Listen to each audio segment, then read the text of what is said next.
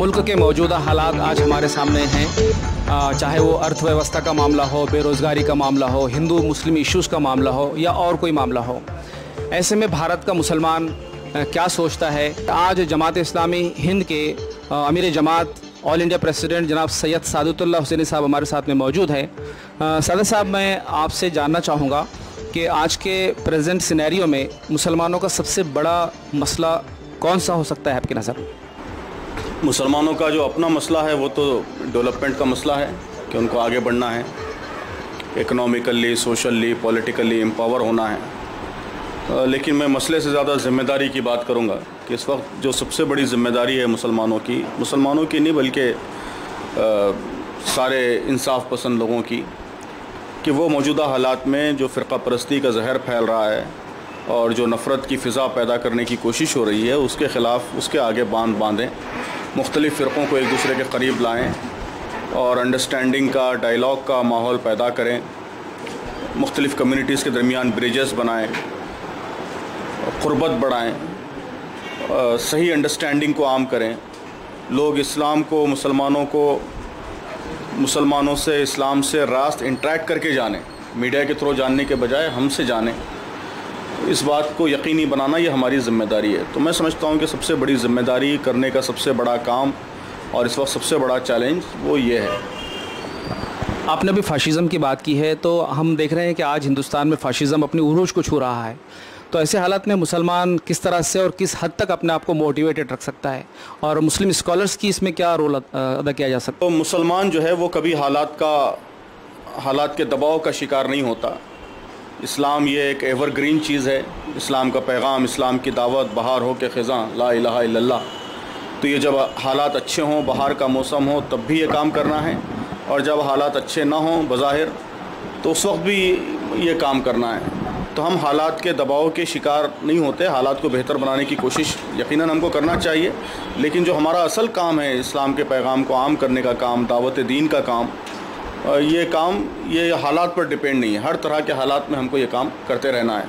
تو اس لیے حالات کے دباؤ کا شکار ہوئے بغیر یا اس میں الجھے بغیر ہم اپنے اس اصل کام پر اپنی توجہ کو مرکوز رکھیں اور حالات کو بہتر بنانے کی متوازی طور پر کوشش کرتے رہیں۔ تو یہی پیغام مسلمانوں کو دینا چاہیے۔ اسی سے وہ موٹیویٹ ہو سکتے ہیں۔ اگر آپ صرف حالات کا تذکرہ کرتے رہیں گے اور حالات کے حوالے سے ان کو کام کرنے کے لیے متوجہ کرتے رہیں گے تو یقیناً مایوس ہوں گے۔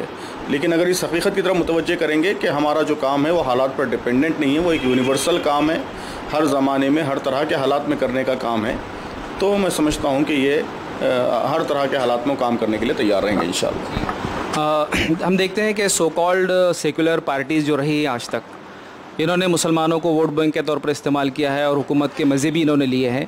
لیکن آج کے سینیریو میں ہم دیکھتے ہیں کہ نہ موب لنچنگ پر ان کی کوئی لب کشائی یہ کرتے ہیں، نہ ہی ٹریپل طلاق کے موقع پر ان کو کوئی اعتراض رہا ہے۔ تو ایسے میں اب مسلمانوں کے لیے کیا لاہ عمل ہو سکتا ہے؟ سیاسی طور پر۔ جی ابھی بھی وہ پریس کان، جو پریس کے لوگ آئے تھے، ان سے بھی میں یہی بات عرض کر رہا تھا کہ اگر ہم جو ہے وہ صرف الیکشن کے زمانے میں صرف سیاسی کوششوں کے ذریعے مسئلے کو حل کرنا چاہیں تو یہ مسئلہ حل نہیں ہو سکتا۔ اس لیے کہ فرقہ پرستی اب یہ صرف ایک پولیٹیکل فینومینن نہیں رہی ہے، بلکہ اس سے آگے بڑھ کے ایک سوشل فینومینن بنتی جا رہی ہے۔ جو کچھ پولیٹیکل رزلٹس ہیں، وہ سوشل ریالٹی کا آؤٹ کم ہے سوشل سچویشن کا آؤٹ کم ہے سوشل سچویشن کا نتیجہ ہے۔ تو اس لیے اس سوشل سچویشن کو بدلنے کی ہم کو فکر کرنی پڑے گی۔ یعنی سماجی سطح پر جو فرقہ پرستی کا زہر پھیل رہا ہے، جو پولارائزیشن پیدا ہو رہا ہے، جو دوریاں بڑھ رہی ہیں، ان دوریوں کو ہم ختم کریں۔ فرقہ پرستی کو ختم کریں، زہر کا تریاق کریں، صحیح معلومات اسلام کے تعلق سے، مسلمانوں کے تعلق سے، صحیح انفارمیشن بڑے پیمانے پہ کمیونیکیٹ کریں، تو سماج بدلے گا تو اس کے نتیجے میں پھر سیاست بدلے گی۔ سماج نہیں بدلے گا تو پھر سیکولر طاقتیں بھی، کیونکہ ووٹ ان کو لینا ہے یہیں سے۔ تو وہ اگر سماج کمیونل ہو جائے، سماج پولرائز ہو جائے، تو ان کی مجبوری رہے گی، کمپلشن رہے گا کہ وہ لوگوں کے زبان میں بات کریں، وہ بھی فرقہ پرستی کے ایجنڈے پہ کام کریں۔ تو اس لیے میں سمجھتا ہوں کہ کرنے کا اصل کام وہ سماجی سطح پر کرنے کا کام ہے۔ سیاسی سطح پر ہم ڈیموکریٹک ویلیوز کو اور ڈیموکریٹک پارٹیز کو سپورٹ کرتے رہیں گے، لیکن وہ پارٹیز بھی اسی وقت طاقت حاصل کریں گی جب سوشل ریالٹی سماجی حقیقتیں بدلیں۔ تو اس لیے صرف الیکشن کے موقع پہ کام نہیں کرنا ہے، مستقل کام کرنا ہے، روزانہ کام کرنا ہے۔ اور کرنے کا اصل کام وہ سماج میں لوگوں کے درمیان قربت پیدا، دوریاں دور کرنا اور اسلام کے صحیح پیغام کو عام کرنا ہے۔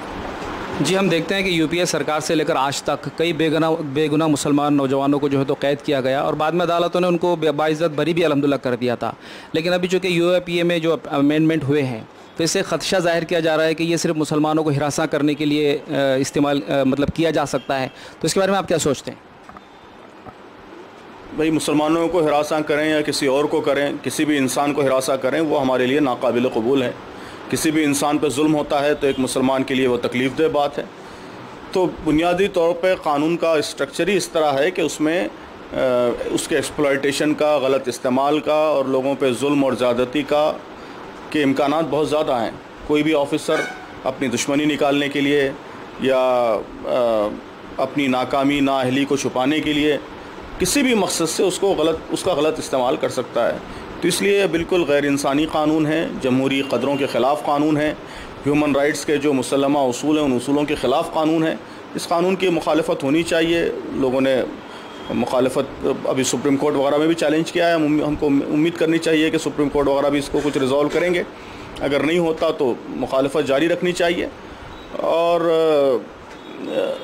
بہرحال قانون باقی رہتا ہے، بچا رہتا ہے۔ تو پھر ہم کو اس بات کی کوشش کرنی چاہیے سول رائٹس آرگنائزیشن کو، حقوق انسانی کی تنظیموں کو، کہ وہ اس کے غلط استعمال کو روکنے کی ہر ممکن تدبیر اختیار کریں۔ کسی کے خلاف بھی، صرف مسلمان کے خلاف نہیں، کسی بھی بے قصور انسان کے خلاف اس کا غلط استعمال نہیں ہونا چاہیے۔ ایک سوال یہ کہ موجودہ دور جو ٹیکنالوجی کا دور ہے، جس میں نوجوان خاص طور سے متاثر ہو رہے ہیں، تو اس کو مثبت انداز میں ہم کس طرح سے استعمال کر سکتے ہیں؟ نوجوانوں کے لیے آپ کا کیا میسج ہو سکتا ہے؟ جی تو سوشل میڈیا اور ٹیکنالوجی یہ بیک وقت رحمت بھی ہے اور زحمت بھی ہے۔ یہ ہمارے لیے بہت فائدہ مند چیز ہو سکتی ہے کہ اس کے ذریعے آپ ایجوکیشن کو عام کر سکتے ہیں، اس کے ذریعے صحیح معلومات عام کر سکتے ہیں۔ یہ بہت ہی پاورفل میڈیا ہے۔ ایک عام انسانوں کو بھی اس نے امپاور کیا ہے، طاقتور بنایا ہے۔ پہلے جو میڈیا ہوا کرتا تھا، وہ صرف طاقتور کی آواز ہوا کرتا تھا۔ طاقتور کی آواز تھا یہ سرمایہ دار کی آواز تھا۔ جس کے پاس سرمایہ ہوتا تھا، وہی ایک بڑا ٹی وی چینل، ایک بڑا نیوز پیپر چلا سکتا تھا۔ جس کے پاس سیاسی اثر رسوخ ہوتا تھا، جس کے پاس دولت ہوتی تھی، جس کے پاس سماجی اثر رسوخ ہوتا تھا، یا کم از کم غیر معمولی صلاحیت ہوتی تھی۔ بڑا رائٹر ہے، بڑا ادیب ہے، بڑا کالمنسٹ ہے، وہی اپنی بات لوگوں تک پہنچا سکتا تھا۔ لیکن سوشل میڈیا نے اور اس جدید ٹیکنالوجی نے بے آوازوں کو آواز دی ہے، کمزوروں کو آواز دی ہے۔ ہر شخص کو امپاور کیا ہے کہ کوئی بھی چھوٹا بچہ بھی ہے، اسکول کا بچہ بھی ہے، وہ بھی اپنی بات کروڑوں انسانوں تک پہنچا سکتا ہے۔ لیکن دوسری طرف یہ ہے کہ اب اس کے ذریعے آپ دیکھ رہے ہیں کہ فیک نیوز بڑے پیمانے پہ عام ہو رہے ہیں۔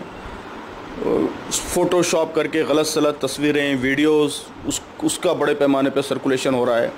اس سے کمیونل پولرائزیشن بڑھانے کی کوشش کی جا رہی ہے، نفرتیں پیدا کرنے کی کوشش کی جا رہی ہے۔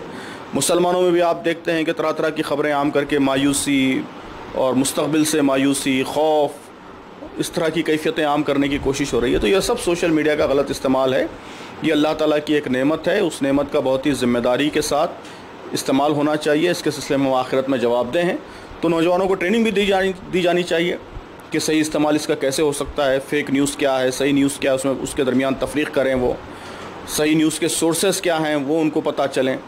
اس کو ڈسیمنیٹ کرنے کے کیا طریقے ہیں، اس کے بارے میں ان کو اویئرنیس ان کے اندر لائی جائے۔ تو نوجوانوں کو اس سلسلے میں ٹریننگ بھی دینی چاہیے۔ ہمارے آپ کی جیسے لوگوں کی ذمہ داری ہے کہ نوجوانوں کے اندر اس کے تعلق سے اویئرنیس لائیں۔ اور پھر نوجوانوں کی بھی یہ ذمہ داری ہے کہ وہ ذمہ داری کے ساتھ اس کا استعمال کریں۔ اس کو صحیح معلومات کی ترسیل اور سوسائٹی میں صحیح اویئرنیس لانے کے لیے استعمال کریں۔ افواہیں پھیلانے اور غلط خبروں کی اشاعت اور لوگوں کے درمیان منفی جذبات کو فروغ دینے کے لیے اسے استعمال نہ کریں۔ مسلمانوں نے اپنے اپلفمنٹ کے لیے آپ کی نظر میں دو بڑے کام کون سے کرنے چاہیے؟ بہرحال ہمارا خیال یہ ہے کہ سب سے جو اہم کام ہے، بنیادی کام وہ یہ ہے کہ مسلمان اپنے مقصد اور نظب العین سے جڑیں۔ نا؟ کسی بھی قوم کی طاقت کا جو مرکز ہوتا ہے، وہ اس کا مقصد اور نظب العین ہوتا ہے۔ بے مقصد قومیں کبھی ترقی نہیں کرتی۔ نا؟ قوموں کی ترقی کے لیے جس طرح ایک انڈیویجول ترقی کرتا ہے، اپنی فیملی کے بہبود کے مقصد کے لیے کہ میں اگر ترقی کرتا ہوں تو میں چاہتا ہوں کہ میرے بچے خوش رہیں، میرے آمدنی بڑھے، میری میرا فیملی میرے میرا خاندان خوشحال ہو، اس مقصد سے میں تعلیم حاصل کرتا ہوں بزنس کرتا ہوں۔ قومیں بھی جو ہے، اسی وقت ترقی کرتی ہیں جب ان کے سامنے کوئی بڑا قومی مقصد ہو، بڑا نصب العین ہو۔ کوئی بڑا مقصد اور نصب العین نہیں رہتا تو پھر ان کو ترقی کرنے کے لیے کوئی موٹیو نہیں رہتا، کوئی محرک نہیں رہتا۔ تو ہم سمجھتے ہیں کہ مسلمانوں کی جو کمزوری ہے، جو زوال ہے، یا جو ان کی مفلوق الحالی ہے، تعلیمی پسماندگی ہے، معاشی پسماندگی ہے، سیاسی بے چارگی ہے اس کا سب سے بڑا سبب مقصد اور نصب العین کا نہ ہونا ہے۔ حالانکہ اللہ تعالیٰ نے ہم کو ایک مقصد نصب العین دیا ہے۔ تو سب سے پہلی ضرورت دو باتیں آپ نے کہی ہیں۔ سب سے پہلی ضرورت یہ ہے کہ وہ مقصد سے نصب العین سے جڑیں۔ مقصد اور نصب العین آپ کے سامنے ہوگا تو انشاءاللہ تعلیم میں بھی ترقی ہوگی، معاشی ترقی بھی ہوگی، سیاسی ترقی بھی ہوگی، آپ کے اندر خود اعتمادی آئے گی، ہر محاذ پر آپ آگے بڑھیں گے۔ تو سب سے اہم چیز تو یہی ہے۔ جو کئی مسائل کا حل ہے آپ کے۔ اب دو چیزیں کہیں آپ نے تو دوسرے نمبر پر میں کہہ سکتا ہوں کہ تعلیم ہے تعلیمی ترقی حالانکہ تعلیم بھی اس سے جڑی ہوئی ہے۔ تعلیم بھی آپ صرف تعلیم تعلیم کا نعرہ لگائیں گے تو تعلیم عام نہیں ہوگی۔ تعلیم بھی ایک مقصد کے ساتھ ہی حاصل کی جاتی ہے۔ آپ کے سامنے اونچا مقصد رہے گا تو آپ اعلیٰ تعلیم حاصل کریں گے۔ بڑے فلاسفرس بڑے سائنسدان آپ کے درمیان پیدا ہوں گے۔ تو تعلیم بھی آئسولیٹڈ نہیں ہے، لیکن دوسرے نمبر پر میں کہتا ہوں کہ سب سے اہم چیز وہ تعلیم ہے۔ تعلیم پر مسلمان توجہ دیں۔ دینی تعلیم بھی حاصل کریں۔ اور جتنے نافع علوم ہیں بینیفیشل سائنسز جس سے آپ انسانیت کو فائدہ پہنچا سکتے ہیں اس میں اعلیٰ مقام حاصل کرنے کی کوشش کریں۔ جی میرا آخری سوال آپ سے یہ ہے کہ آنے والے پانچ سالوں میں جماعت اسلامی کو آپ کس مقام پہ دیکھنا چاہتے ہیں؟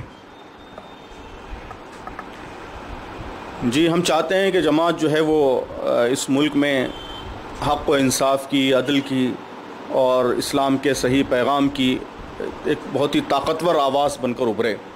اور سماج پر اس کا امپیکٹ محسوس ہو، سماج پر اس کا اثر محسوس ہو کہ جماعت کا جو پیغام ہے، جماعت کا جو میسیج ہے، وہ ساری انسانیت کے لیے ہے۔ ہم پورے ملک میں امن و امان قائم کرنا چاہتے ہیں، انصاف قائم کرنا چاہتے ہیں، بھائی چارہ قائم کرنا چاہتے ہیں۔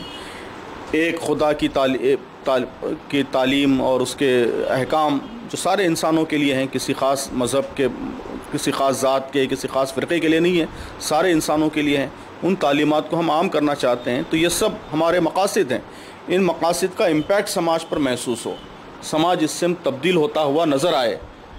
یہ ہماری خواہش ہوگی کہ ہماری کوششوں کے ذریعے سماج اس رخ پر بدلے یا بدلتا ہوا محسوس ہو۔